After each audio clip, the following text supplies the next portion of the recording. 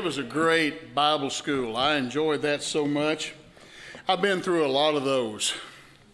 And this one ran as well as any I have ever seen in my life. And uh, we had a good time. I'm going to tell this because it's funny. I was up in the pastor's study and I was doing the salvation presentation sitting behind the desk. Y'all saw me there. Had my little visual aid thing going here, you know, where I mix my little chemicals, do the Bill Nye Science Guy type thing, you know, and all that kind of stuff. Griffin walks in.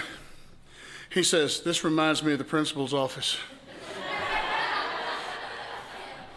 and I said, How do you know what the inside? He goes, I know, it's kind of like going to see the principal. Yeah, okay. I get that. I really do. We had a great time, though, and I thank God for every person who worked. Bible schools can't happen without workers, and uh, we had a we had a glorious outpouring of that, and we had really wonderful group of kids, and I enjoyed them very much. got a lot of neck hugs and all kinds of stuff like that. I just like that. It's just wonderful. Turn with me to Mark's Gospel, the fifth chapter, and Mark's gospel records more miracles of Jesus than any of the other gospels do. And we're kind of investigating some of the miracles of the Lord, see where that takes us. In the fifth chapter of Mark's gospel, you find basically three miracles taking place. One, the first one, is that a demon possessed man is healed. On the heels of that miracle, uh, word had come to Jesus, a man by the name of Jairus, who was the ruler of the synagogue, sent to him and said, My, my daughter is dying. Can you come? And as Jesus was on his way to the home of Jairus to, to uh, deal with that emergency, another miracle takes place on the way. And this is the miracle of the woman who had the issue of blood, who reached out and touched the garment of Jesus, and she was healed. And there's a lot here to this that would really, I think, bless our hearts because, you know, I'm, I'm thinking about this. I know a lot of people who need a touch from the Lord. How about you? Uh, you know, and, and folks, a touch from the Master makes such a big difference in the lives of people. It can actually change the entire uh, direction of, of a person's life. It can really, really change things. so we're going to read verses 25 to 34 this morning, and we'll see where the Lord takes us in this. Now, there was a certain woman who had a flow of blood for 12 years and had suffered many things uh, from many physicians, and she had spent all she had and was no better, but rather grew worse. When she heard about Jesus, she came behind him in the crowd and touched his garments. For she said, If I only may touch his clothes, I will be made well. Immediately, the fountain of her blood was dried up, and she felt in her body that she was healed of the affliction. And Jesus, immediately knowing in himself that power had gone out from him, turned around in the crowd and said, Who touched my clothes? But his disciples said to him, You see the multitude thronging you, and you say, Who touched me? And he looked around to see her who had done this thing. But the woman, fearing and trembling, knowing what had happened to her, came and fell down before him and told him the whole truth.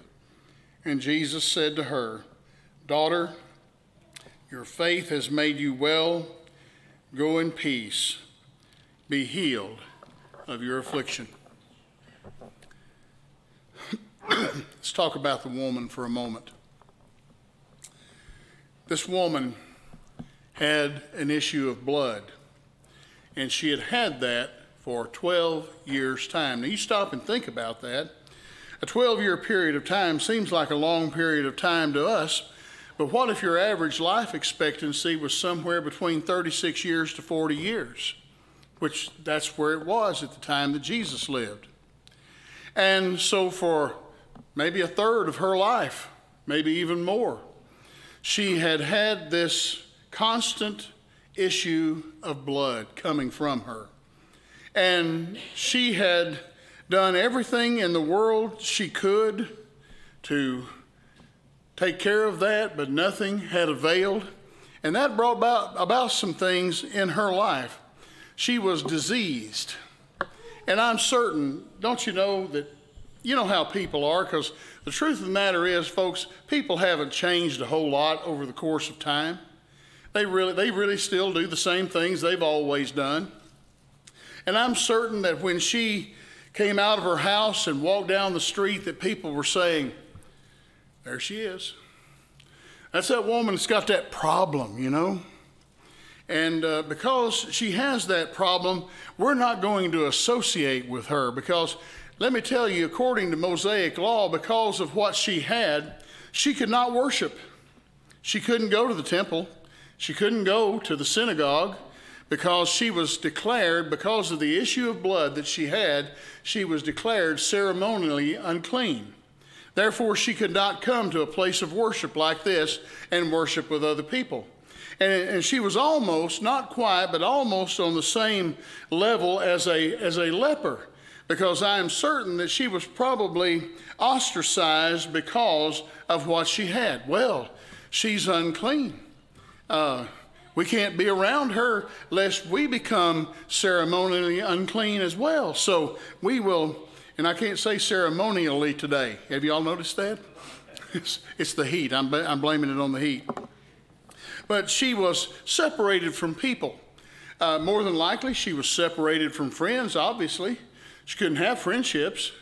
Uh, she was separated most likely from her family. It could be that they had a separate place for her to stay rather than her being in the house with her family because she was of, of that unclean nature according to the law. And not only that, but the Bible says that she had taken and spent everything that she had on doctors. Now, that's one thing that has not changed through the years. You can still spend everything you have on doctors. And the bottom line was this, and it had done her no good. In fact, she wasn't better. The Bible says that she was worse. And can you imagine having to suffer through some of the things that I'm certain they did in medicine in those days? You know, up until the early part of the 20th century, they thought that bloodletting was something that would make people better. In fact, I had a step grandfather that was the only grandpa that I actually knew, and I loved him with all my heart. But his first wife, the lady that he had married first in his life, died because a doctor did bloodletting on her and bled her too much. And she bled to death while the doctor was holding a pan under her wrist. Uh, and he said, Well, obviously that didn't work. And can you imagine some of the stuff I was thinking about this morning? Some of the stuff my mama used to give me for medicine. Now, I know I'm talking to some people who understand what I'm talking about.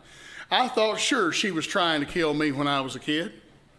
And I've, I've taken everything in the world from kerosene and a spoonful of sugar and I never could figure out what the kerosene was for. But anyway, I guess it was good for me. And some, she always looked at me and she'd hand me stuff and she'd say, This will purify your blood, son. Okay, I'd take it. Well, I survived it. If you survived childhood, time I was growing up, you were doing pretty good. She had been through so many things, and she was destitute because she had spent everything in the world she had trying to get better. And you know what? All of these things that we've just enumerated, lead us to a place of desperation. And uh, a lot of people know what it's like to come to a place, place of desperation in your life, no matter what it is that has driven you there. But I've got some good news for you because the Lord specializes in human desperation. In fact, some of the best things that God can do in your life are in times when you have given up hope that you don't think anything in the world is going to help, that everything has fallen through and everything is falling apart, and life just can't have any meaning from this point forward, God has a way of moving in in moments and times like that to bring some of His best blessings into our lives. and He does. Uh, you know, I've, uh, I've been there a few times, and, you know, I've, I've said this, this to the Lord, and I'm sure some of you have too. Lord, I just give up. And I've never audibly heard the voice of God in my ears, but I've heard his voice in my heart before, and I've heard him say stuff like this Well, John, it's about time. It's about time you gave up. It's about time you came to the place where you can't do anything about this. It's about time you realize that the only help and the only hope that you have is in me. And so this woman hears about the fact that Jesus is going to be passing nearby. And she makes up her mind if I can just go and maybe work my way through the crowd and touch the very hem of his garment, I believe that I can be made whole. Now, you, you got to understand the, the problem with that too. Culturally, the Middle East is different than us. Uh, here, you know, if you'll notice when I, when I speak with you, I speak at you from an arm's distance. I'm one of those kind of people that really doesn't like people who get up in my face. Am, am, I, am I preaching to folks who understand that? I don't like that very much. I don't like being backed into corners and stuff like that. But you go to the Middle East, and one of the things you find is that those folks don't have any concept of space whatsoever. In fact, I was just staying in a hotel in Jerusalem, and we had a whole bunch of South Koreans there. And uh, they don't know anything about that either, okay? And so me and my buddy Schroeder, we were on the elevator. Here we are, big old strapping Arkansas boys, and about 492 South Koreans get on this elevator with us. And they're all just about this tall. And they're all looking at us grinning. Okay? In fact, at that time, I had a long white beard, you know, Santa Claus type beard, and every one of them I ran into wanted their picture made with me. I guarantee you, my picture's all over Seoul, Korea right now. But uh, they were on there, and I just looked at old Schroeder and I said, Schroeder, have you ever seen so many foreigners in one spot in your life? And they were just all grinning, oh, you know. But we went the next day to the old city of Jerusalem. The old city of Jerusalem the streets are barely as wide as one of these pews is long. There are no vehicles allowed in the old city, in the old walled part of the city, and it's all pedestrian traffic. But let me tell you something those folks know how to congest a street. They know how to pile out in there. There was one little Arab woman coming down through there. She had a newspaper rolled up and she was swatting everything that got in front of her, and I got in front of her. And and so she hit me, and I just did the old Arkansas thing. I looked at her and said, Well, bless your heart. you know, that can mean anything in Arkansas. This crowd that was around Jesus, in fact, the disciples made reference to that. Uh, why are you asking who touched you? Don't you see this crowd that is thronging around you? I mean, they were just working like bees, folks. They were all around him, all over him and they knew nothing of space. They were just crowded in next to him as tightly as they could. And this woman said, If I can just get in there, if I can find some way to work my way through that crowd and be able to just reach out and touch the very hem of his garment, I believe that I would be made whole. Now, where did she get that? Where did that come from? You know, there's scriptural precedent for that. It's over in the book of Malachi, chapter 4, and verse 2. And listen to this verse. But to you who fear my name, the Sun of righteousness will arise, with healing in his wings. And you shall go out and grow fat like stall fed calves. Well, I did that part of it anyway healing in his wings. You know what the outer hems of a, of a biblical robe are called? Wings. They're the wings of the garment. And this woman is saying, in fact, it, it kind of gives me the idea that this woman knew the scriptures. She was probably educated. She may have been an individual who was literate, which most women weren't in those days, but she probably was one maybe who had read this for herself. But she said, huh, Malachi said that there's going to be one coming, the Son of Righteousness, with healing in his wings. And if I can just reach out and touch the wings, the hem of his garment, I believe I'll be made whole.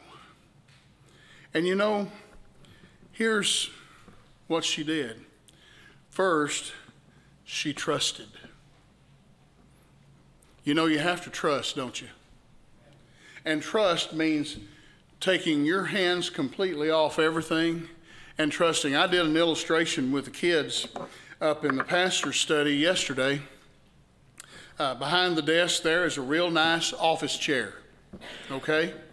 And uh, it just fit me, by the way. It was nice. You know, I just kind of settled down in there. If they hadn't been coming in and out, I think I could have napped right there. But I told the kids, I, I, every, with every group, I would stand up and I'd say, All right, I'm a pretty good sized feller, right? And most of them would be going, Uh huh. Y'all go ahead and laugh, okay? And I say, You know what I did this morning? I came in here and I looked at that chair and I said, Boy, that's a nice chair. That's a good chair. I like that chair. It looks like a good, strong chair. And with me, that's faith. Okay? And I said, and I turned the chair all around and I said, you know what? That is a great chair. I believe that chair can hold me. But you know what, folks? That's not faith yet. That's not trusting yet. The yet, now I'm going to do this, okay? It's when you put your weight on it. Amen? Amen? That's faith. That's trusting. She was willing to trust Christ to the point that she was going to stick her proverbial neck out and go into this crowd and touch the hem of his garment because she was convinced that Christ could and Christ would heal her. You know, here's the thing I have never seen God say no to someone who came asking. Now, he may not answer exactly the way that I ask him to answer. You know, there have been people that I have loved who have been sick, who did not recover. But I also understand this that God has a plan better than my plan, and God has a way better than my way. And I've learned to trust in that because one thing I do know is that Jesus loves me and that God loves me and that God has a plan for me. And if God allows it to come across the threshold of my life, then obviously He intends me to grow somehow thereby. So I've learned to trust Him. And she's saying, I'm going to trust Him to the point that I'm going to push my way through this crowd, and I'm certain that was a monumental undertaking on her part. She was a sickly woman. She was pushing her way through a crowd of, of men who were thronged around Jesus, and she worked her way up there, and then she did this she touched him. She trusted him first, and then touched him. And you notice what happened? The scripture says there in, let's see, which verse is it? Uh, and immediately, that's verse 30, immediately, immediately, knowing in himself that power had gone out from him, he turned around in the crowd and said, Who touched me? When the Lord does stuff, he does a lot of stuff immediately. You know how long it took him to save me? Just about like that. Because I was lost and then I was saved. And the grace of God did that. And you know, I read all the way through the Gospels how Jesus healed people and how he brought things to pass. And uh, you see this word immediately a lot in the Gospels that as Jesus spoke to an unclean spirit, immediately it came out. As Jesus ministered to a blind man, immediately he could see. As Jesus spoke to a cripple, immediately strength came in their limbs and they stood. I was at church camp a number of years ago, and I was watching this young man who was out there walking around campus. He was, he was a sweet young man, had a beautiful spirit about him, just one of those kids you just like. But I noticed he was walking straight into trees. And I walked over to him. I said, "Son, are you all right?" Because he just he just plastered a big old pin oak tree. I mean, just poof, right in the face, you know. And I'm going, something not right here, you know. And I said, Are you okay? He said, Yeah. He said, You know, I used to be blind. And I did the good old Arkansas thing. I said, Do what? He said, Yeah, I used to be blind, but he said, My uncle took me to see this particular evangelist, and he said, He healed me. I'm just waiting to get my sight. And I'm sitting here going, No, that's not the way this works. I don't think so, son. You know, and, and uh, he said, Yeah, that, that man healed me. It just hadn't come to fruition yet. I'm going, Excuse me. But when Jesus heals, he heals. When God does what he does, he does. And immediately, this woman knew. First of all, the issue of blood stopped. It stopped. 12 years. A big chunk of this woman's life. She had dealt with this and she had not gotten better, she had gotten worse. Can you imagine the weakness that this woman experienced? Can you imagine just how tired not only her body must have been, but how tired her spirit must have been, how tired her emotions must have been, putting up with this day in and day out and day in and day out with no end in sight? And she touched the hem of the one who is risen with healing in his wings. And immediately, my hair's standing up. Can y'all see it? I want to tell you, folks, when God does something, He does it amazingly well. And she knew in her body that she had been healed. Don't you know that she felt completely different? Maybe she felt the way she had felt 12 years prior before this illness ever came upon her. And she's going, wow, Look at this. Look at what Jesus has done. And Jesus turned around. I want to point out something.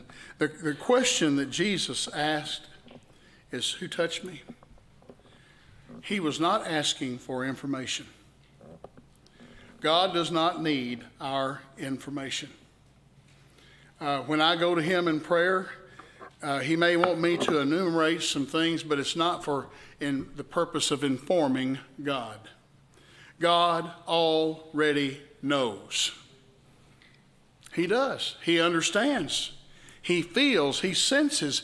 He knows what's going on.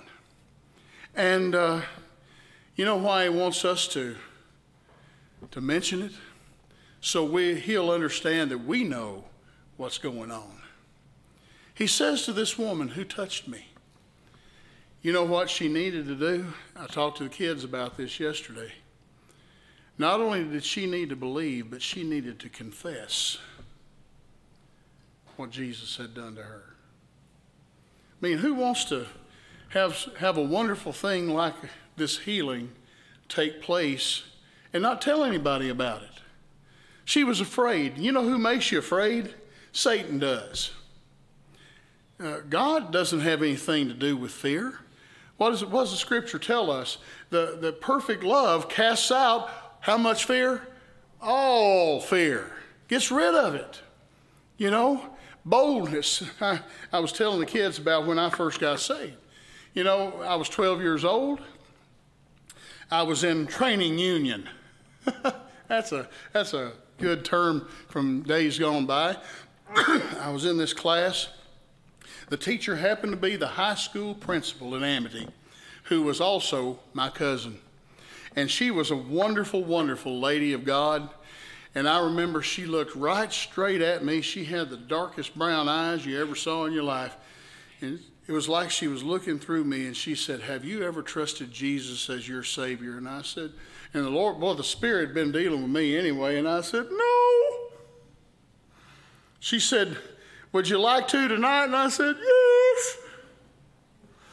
And I mean, I got on my knees. That old basement floor was covered in water because it had been flooding and raining. And we didn't have French drain around it at that time. Water was standing about an inch deep in that old basement floor. And I got down on my knees and I said, My mama's going to kill me for getting my britches wet. and I asked Jesus to save me. And you know what happened at that moment? He did. He just did. I didn't, you know, I couldn't even spell theology, but I knew that I was lost. And I knew that I needed Jesus. And I didn't know how to go through all, all these things. People say, well, did you say the right things when you prayed? The Bible doesn't even say you have to pray. The Bible says, with the heart man believes unto righteousness, with the mouth confession is made to salvation. And so I believed that day. I came out of that room and I remember the training union director was my cousin's husband, Floyd. I went in there and I said, Floyd, I just trusted Jesus as my Savior. Man, he grabbed me, broke down in tears, loving on me. I ran upstairs and there was my mama. I said, the first thing she did was look at my britches. and, that, and that's the way mamas are. I said, Mama, I just got saved. Well, there was hallelujah. And then, you know what? At the end of the service, I, I shared that with everybody there. And I remember all these people who came by and hugged my neck. Oh, Ted and Clara and Bill and May and Jimmy and Sue and all these people that I grew up knowing and, and loving, loved on me and shared Jesus with me and cared about me. And I trusted Jesus. And the first thing I wanted to do was let people know that I had. Share that, confess it. I got home, I called my school teachers. You know, some of them said, You got saved? Thank God. I knew what the inside of the principal's office looked like, too. oh, I called my uncles. I called, I called my mother's oldest brother. And it was his birthday when I got saved, August 6th. And he just started weeping. He said, Bud, I've been praying for that today, for you to come to know Jesus. She confessed.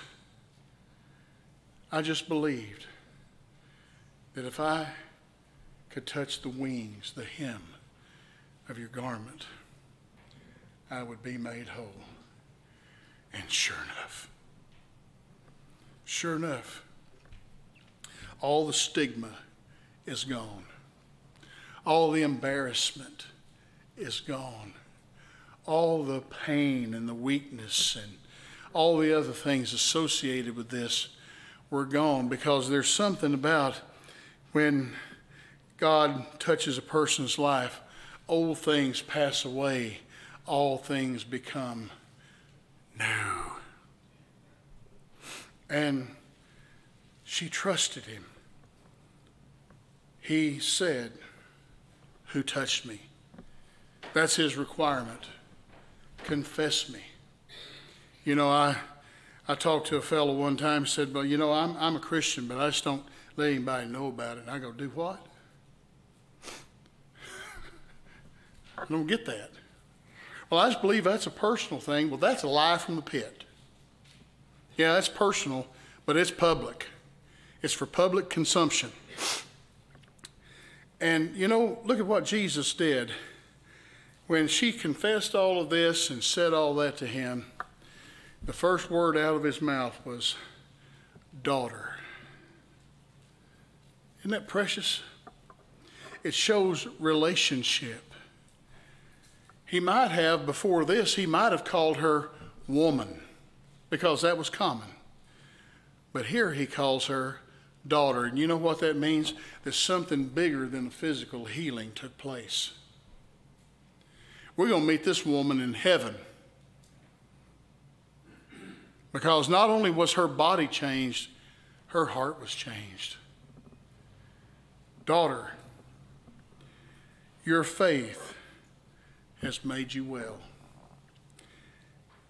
Go in peace and be healed of your, of your affliction. That's his reward. Go in peace. Don't be troubled by this anymore. You know, I'm so glad. Isn't it wonderful that the Lord can touch the hearts and lives of people and they can walk away and leave all that stuff behind that was behind them? You know what? There's not a person here this morning that is beyond the reach of God's grace. There's not a person here this morning that Jesus didn't die for. There's not a person here this morning that God does not love with all of his big old heart. And you know what? He wants to put all the stuff behind you and allow you to be able to walk away with that with a new life. A new life and a new reason for being. For those of us who know Him and, and have a relationship with Him, He wants us to confess that before men. He wants us to tell people, hey, the best thing in my life that ever happened to me is this. You know, we'll show off everything in the world. I remember when I got my first car, uh, somebody, you know, on Facebook, they'll put this how, how much did your first car cost? $795. Yeah. I drove the hound dog out of that old car sold it for $795. it was a good old car. But you know what I did? Now, if you're familiar with Amity, we've got a squircle. It's not really a square and it's not really a circle, it's a squircle. Some people call that a roundabout. I say, no. Roundabout's what they have in cities doesn't make any sense. I said, we got a squircle that's been there for a hundred and some odd years. And I took it uptown where all my buddies were hanging out, sitting on the hoods of their cars, and I pulled up there because I guarantee you there was more shiny metal in the front bumper of that 64 Ford than there is in a whole car now. I pulled up there and honked, had my eight track tape player in. Uh huh. Yeah, had my windows rolled down. Want to go for a ride? That consisted of three times around the square. I was proud of it. I was showing it off. I wanted everybody to know I had a new car. You know, people do all kinds of things like that. Hey, look at my new dress. Look at my new shirt. Look at my, you know, ladies will go, look at my new ring.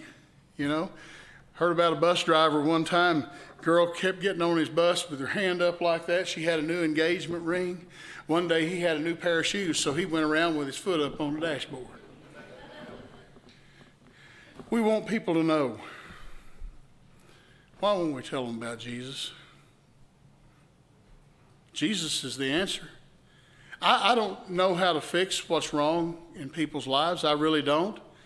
I counsel people all the time. I've got active counseling sessions going right now, and retired, and I'm still doing it. You know, uh, but the one thing that I can do is point them to the one who can. That's it.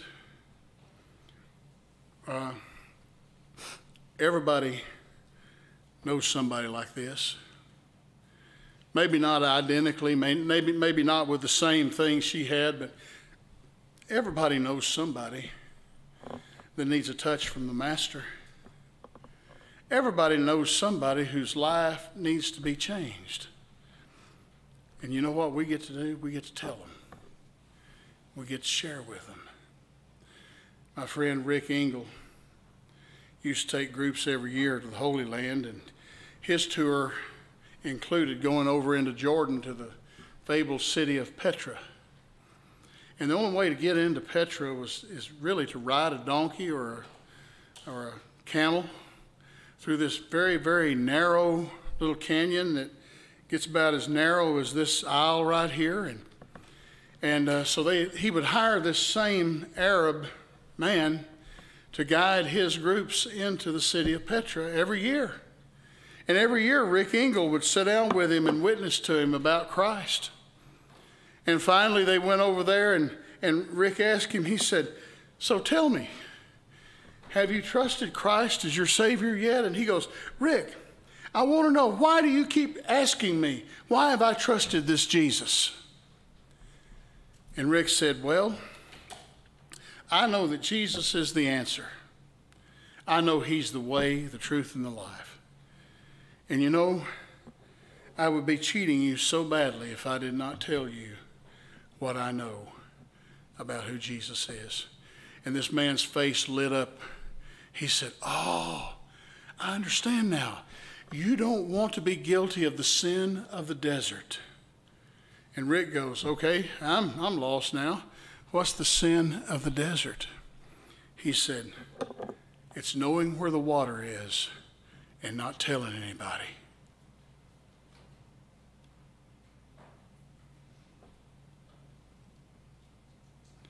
What do you think this woman did? Let's, let's just do a little conjecture here. I believe she went around telling everybody what Jesus had done for her. And I thought, I was thinking, you know, she'd be out walking on the street and people would say, hey, what, what, what, weren't you sick? Yeah, I was. The operative word is was. See, I met this man, Jesus, and I touched the hem of his garment, and he made everything well. And my life's totally different now. I think that's what we need to do. Because if you're saved today, folks, you've been, you've been the recipient of a touch from the Master. You've been blessed. You have. And you know, I've got good news for you today. Oh, do I have some good news for you today? If you're here today and you're struggling through that, whatever it might be, I know the one. I know the one who can answer that for you. I'm not him, but I know him because he's been all that and more to me. Ladies and gentlemen, here this morning, let's get real with God. This woman knew she was desperate. She knew she needed help, and she had tried everything in the world and it did not help anything one bit. But then Jesus passed by. I'm telling you, Jesus is passing by this morning. And you know what? If you'll reach out and touch him, he will change your life. He not only can, if you have the faith enough to do it, He will. I promise. Let's pray. Father God, I thank you so much for this story this morning of this woman who was so desperate but found in Christ everything that she needed. Oh Lord, I'm certain in this room there are people who are struggling with things, dealing with issues maybe even dealing with the fact that they are lost and don't know you. And Lord, this morning I pray that you'll convince them by your Holy Spirit that they can trust you. And just by trusting and reaching out, they can receive what their soul desires so much. Lord God, I pray this morning you'll speak to hearts and draw us to yourself. Let's not worry about what people say, what people think, what people might come up with. Lord, it's just us and you here this morning. And I pray that you'll speak and move and touch hearts and touch lives and change lives. And help those of us who do know you, Father, who've been the recipients of such amazing grace from you. Help us to confess before men the real joy of having the one who is the Son of righteousness with healing in his wings touch your life. Lord, may it be so here this morning, and may you receive the glory and the praise. In Jesus' name we ask it. Amen. Let's stand together, please.